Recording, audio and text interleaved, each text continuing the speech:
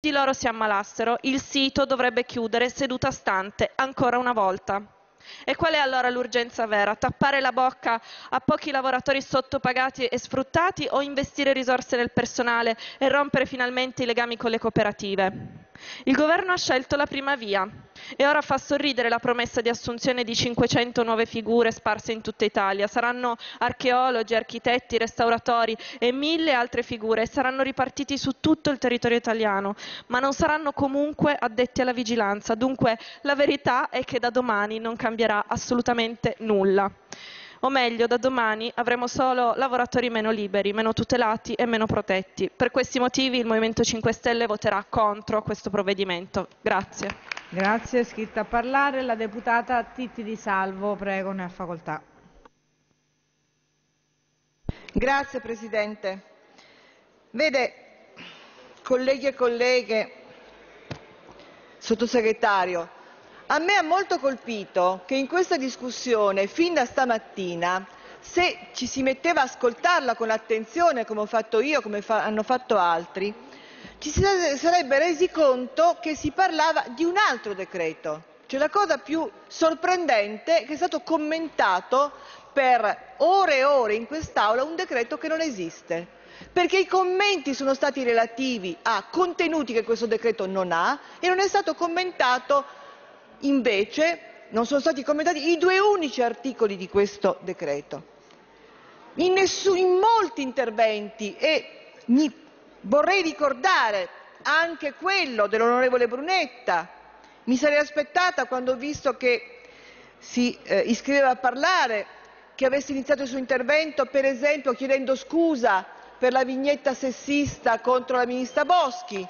Invece non è successo, si è invece diciamo, espresso in, altri, in altre argomentazioni legittime, ma quantomeno, a parte il fatto che parlava di un altro decreto, pensavo che fossero utili quantomeno a chiedere scusa.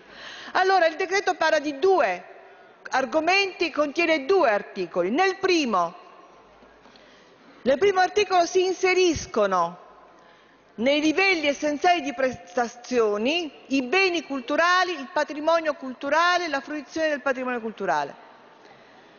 Ora è una affermazione, è una scelta di rilevanza grandissima, forse non per tutti. Io rispetto a questo articolo mi sarei aspettato commenti da una forza politica, per esempio, che ha presentato una proposta di legge per inserire il bello nella Costituzione, mi sarei aspettato commenti, ma invece trovata, ci siamo trovati di fronte a un dignitoso riservo, a imbarazzo, al silenzio, oppure a altri argomenti.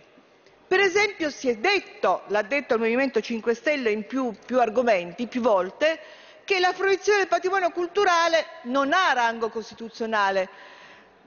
Vedete, forse non è obbligatorio che tutti lo sappiano, che tutti lo ricordino, ma il Partito Democratico nel 2009, il 24 marzo, e per molti giorni prima e dopo, chiese, rivendicò che esattamente questo, che venisse inserito nella Costituzione nei livelli essenziali di prestazioni la cultura.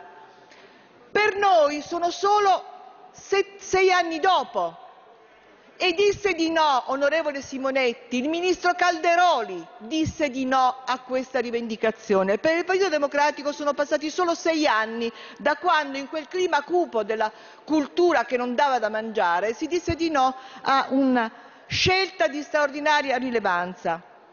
E non è la stessa cosa di inserire i beni culturali tra i servizi pubblici essenziali, perché scrivere livelli essenziali di prestazione vuol dire che per assicurare quei livelli dovranno essere messe risorse finanziarie e destinato delle persone. Gli enti locali avranno questo vincolo da qui in avanti. E allora nel 2009 e oggi il Partito Democratico perché lo rivendica? Perché la cultura è la trama del progresso, perché l'ignoranza è la matrice di moltissimi conflitti, violenza, la radice della violenza sta nell'ignoranza. La scelta di investire in cultura ha una radice simbolica nella Costituzione, una conseguenza concreta nelle scelte, è la nostra scelta. Poi c'è un secondo articolo. Il secondo articolo dice che siccome i beni culturali sono servizi pubblici essenziali, si applica la legge 146 del 90. Si applica una legge dello Stato che già si applicava ad altri servizi pubblici essenziali. Ascoltare la discussione che qui si è svolta, e me ne rimmarico veramente, chi ci ascoltava ha potuto dire, ha potuto sentire che qui si è detto che con questo decreto si toglie il diritto di sciopero, si puniscono le lavoratrici e i lavoratori, veramente si è sempre detto i lavoratori, le lavoratrici e i lavoratori. Si fa una cosa che non esiste, che non è scritta in questo decreto, che ci si augurava forse, ma non è così, a meno che qualcuno voglia dire che da qui in avanti le lavoratrici e i lavoratori che sono, lavorano in quei settori non potranno più scioperare? Non potranno più indire un'assemblea? Oppure dovranno regolare il loro diritto sacrosanto e costituzionalmente definito con i diritti delle altre persone, dei cittadini, così come avviene nella sanità, così come avviene nei trasporti, così come avviene nella pubblica istruzione. Ma allora viene un dubbio e viene un legittimo dubbio. Io ho sentito dire che applicare la legge 146 è vendicarsi dei lavoratori. Ma allora il punto qual è? Eliminare, abolire la legge 146, cioè il tema è che il conflitto non deve essere regolato, cioè una forza che dice che vuol governare questo Paese, i cittadini cosa si possono aspettare da questa forza? L'abolizione di quella legge? Nessuna regolazione del conflitto nei trasporti, nelle scuole, nella sanità? Questo ci possiamo aspettare da chi da Imola si candida a governare il Paese? Di questo stiamo parlando? No, parliamo invece di un'altra cosa della scelta di inserire quei beni, quelle istituzioni, quelle attività non solo nei livelli essenziali di prestazione, ma anche nei servizi pubblici essenziali e quindi di regolare di regolare i diritti delle persone con i diritti dei lavoratori e delle lavoratrici. Certo, questo è avvenuto in un contesto, ma come si fa a dire che la fruizione di quei beni per il Paese, che è il primo nella graduatoria dell'UNESCO per i siti archeologici, non si ponga la responsabilità e il problema della fruizione di quei beni? Una domanda non ho sentito, a quella domanda ha risposto la maggioranza del Partito Democratico, perché la domanda non, sono, non, non, erano quelle che qui sono state fatte un po' così. No, la domanda era ma basta l'applicazione della 146 per fruire dei beni? Basta questo? Non basta e di fatti la legge di stabilità, dopo anni, 10 anni, 12 anni di tagli, ha scelto di invertire sulla politica di investimento nella cultura di invertire la direzione di marcia ma in modo netto. Vedete, nel 2012 la Costituente per la cultura nasce in Italia, è fatta attraverso un manifesto e un appello di tanti intellettuali di tutto il mondo della cultura. Diceva basta dieci anni di taglio, chiedeva le cose che oggi sono nella legge di stabilità di questo governo, chiedeva assunzioni e c'è un concorso straordinario bandito per 500 persone, per giovani architetti, storici dell'arte, bibliotecari. Chiedeva che fosse strutturale la tutela del patrimonio e c'è la conferma strutturale dell'art bonus. Chiedeva il tax credit e gli investimenti nella produzione cinematografica e questo c'è nella legge di stabilità.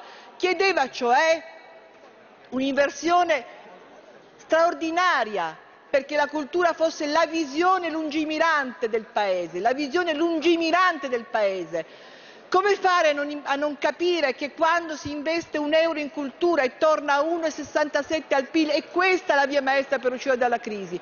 Questo, tutto questo l'ha fatto la maggioranza e l'ha fatto il Partito Democratico che ha anche fatto un lavoro in commissione importante perché il decreto arrivasse in aula così come arriva oggi, così come non avete voluto vedere che arrivasse, perché all'opposizione di questo governo non interessa il Paese, interessa mostrarsi al Paese in un altro modo, non interessa vedere quel che di buono che si fa, si fa, interessa invece anzi oscurare quel che di buono si fa, oscurarlo. Io devo dire che da questo punto di vista rivendico con orgoglio al Partito Democratico invece di aver oggi portato in aula e votato, e dichiaro il voto a favore del mio partito, un decreto che uno dopo sei anni di rivendicazioni in questo senso inserisce nella Costituzione la cultura e la valorizzazione del patrimonio culturale, due considera quei, beni un servizio pubblico essenziale. Tre, fa seguire a queste affermazioni delle scelte concrete di politica economica e politica culturale. Ed è per questo che confermo il voto a favore del Partito Democratico. Grazie, onorevole Di Salvo. Ha chiesto di intervenire a titolo personale la deputata Gregori. Prego. Grazie Presidente, intervengo ovviamente per esprimere il mio voto e quello del collega Fassina contrario a questo decreto. Voglio ringraziare la spiegazione che la collega Di Salvo adesso ha dato sul, sulla legge che ci apprestiamo a votare, ma vorrei sottolineare che qui dentro nessuno ha parlato di contenuti diversi da quelli della legge, perché nella relazione si fa esplicita eh, si parla esplicitamente del fatto che questo decreto deriva dalle manifestazioni sindacali e scioperi che hanno impedito l'apertura al pubblico e l'accesso ai luoghi della cultura e appartenenza pubblica, specialmente siti di particolare interesse culturale e attività turistica. Quindi è anche vero dall'altra parte che si stanno comprimendo i diritti dei lavoratori. Se la verità la dobbiamo dire allora diciamola tutta e mettiamo da parte